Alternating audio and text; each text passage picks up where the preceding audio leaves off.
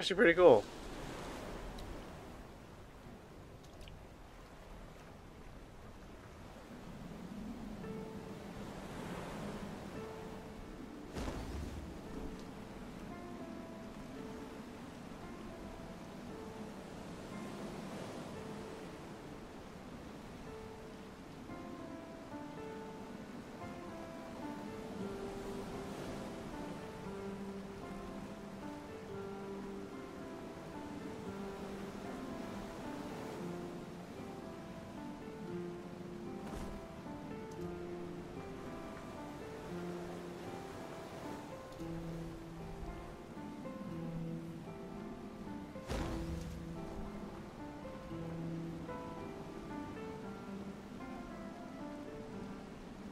We are on a higher elevation now, it seems, so... I don't know, maybe there's... There's pockets of civilization here.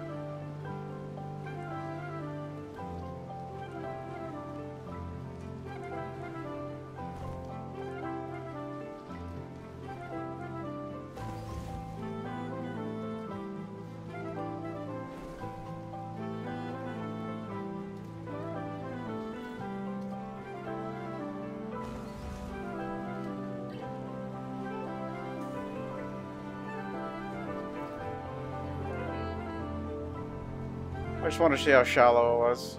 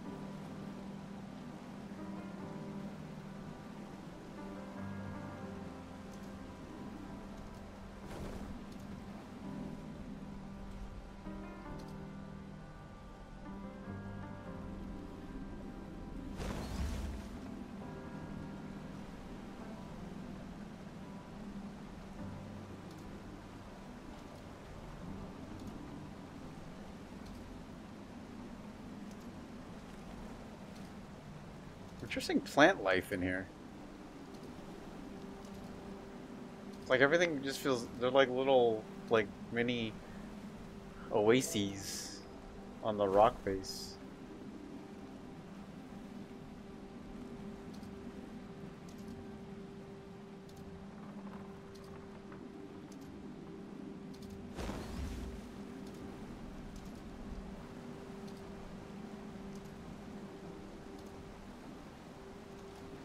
There's boxes floating around right now. Are we getting close to like some kind of village or something like that?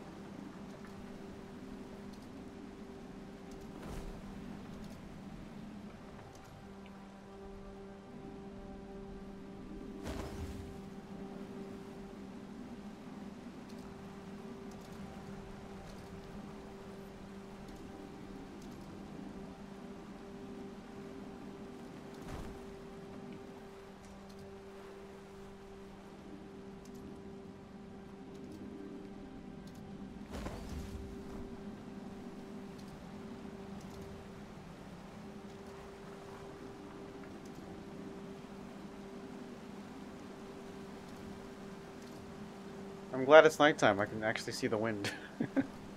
Sometimes it's hard to do it on a on a brighter background.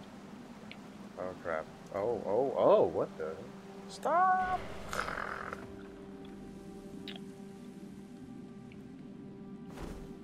That's a big boy ladder.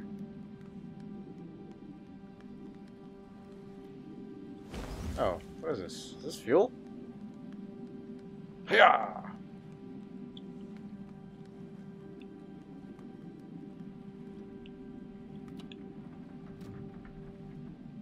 What was that? Oh, do I need to bring that fuel? I'm sorry. I needed to bring you. Fuel or something? Oh gosh, come on. Place it. There you go. Is that enough? Hey, it's like a stork or something.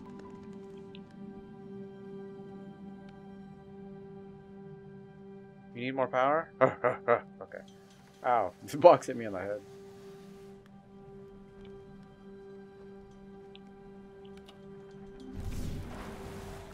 Alright, we're maxed out. Oh, don't crush me. oh, is that the balloon? Okay.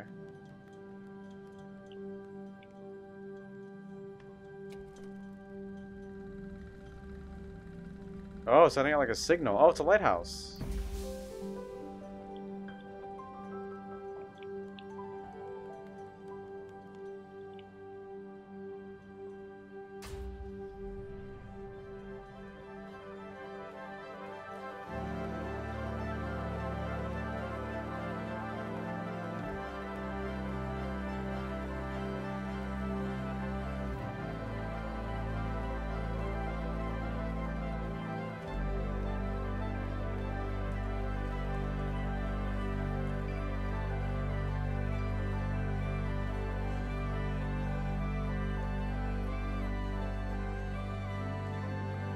Wait. That was the smoke signal that I used for... In the first game. Yeah. And then I tooted the horn.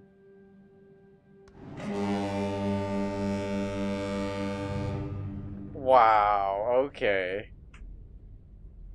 A familiar sound, says the achievement. No friggin' way.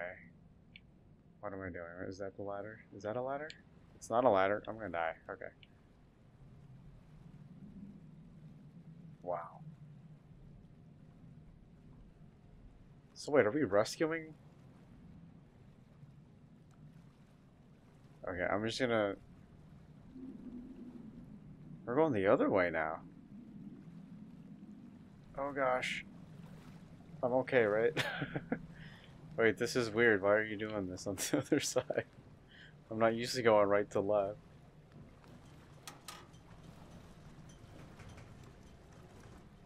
You, you're making everything go backwards and it feels weird.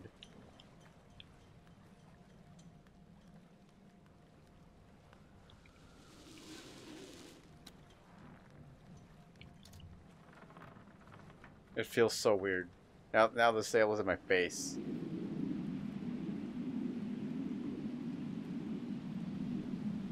Wow. I mean, that's that's cool though.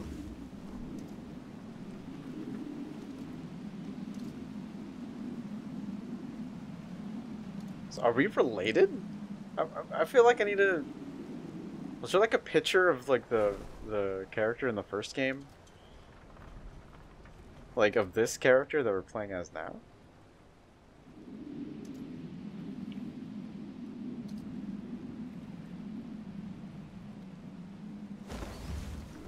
Man, that whole journey just to bring us back to, uh...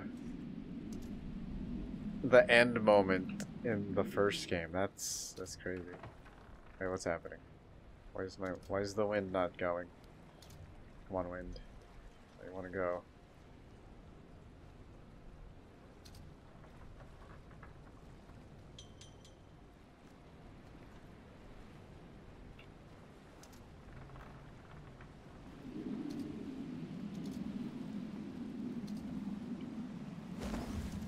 There we go.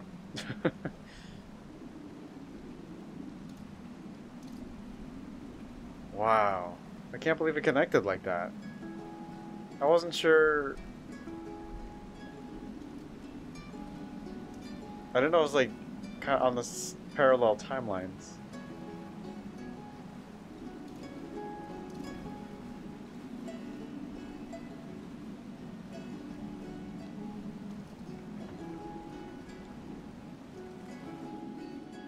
Gosh, are we almost there?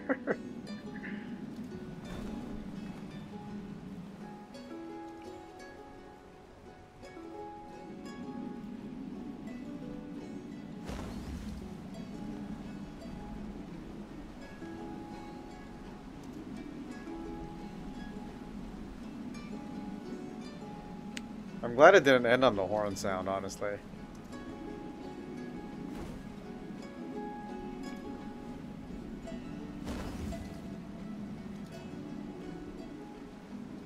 We're saving. That means we're close.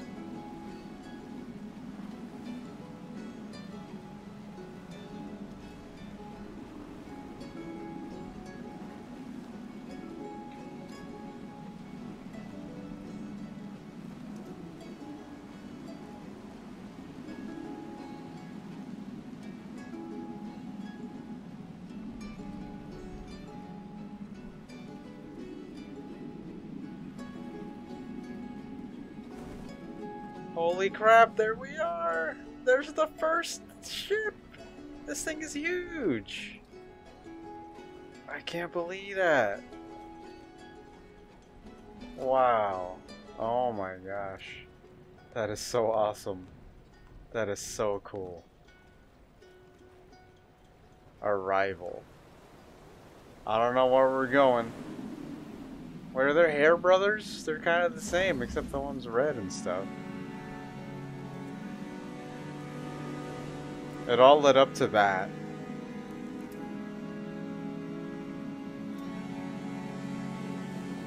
Isn't this the ending music from the first game too?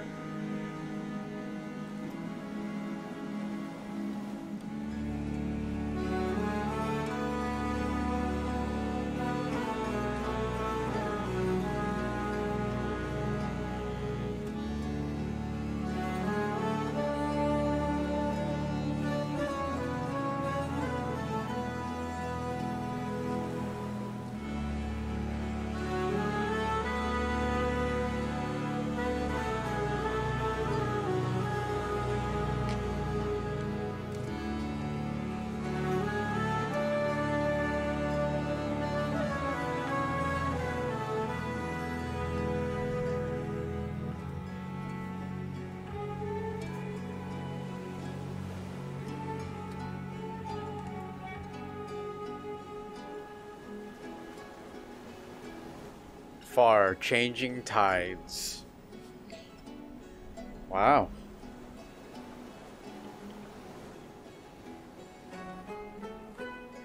Great music.